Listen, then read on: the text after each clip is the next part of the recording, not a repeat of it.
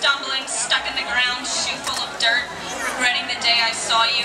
Stupid, selfish girl of 16, spinning furiously at your wheel for an unattainable treasure. But I helped you. I spun your life, your gold, your kingdom, your child. She was a beautiful baby with your eyes, placid, still, a soothing blue. Idiot Miller girl, could you not see that the child was mine? I spun her hair, her head, her fat, fair cheeks.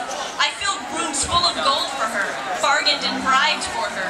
I called her daughter, but you called her baby, princess, and me, sneaky swindler, Rumpelstiltskin. And you stole her from me. Now here's another riddle for you. I pulled my leg till I split in two. How long would it take to do the same to you?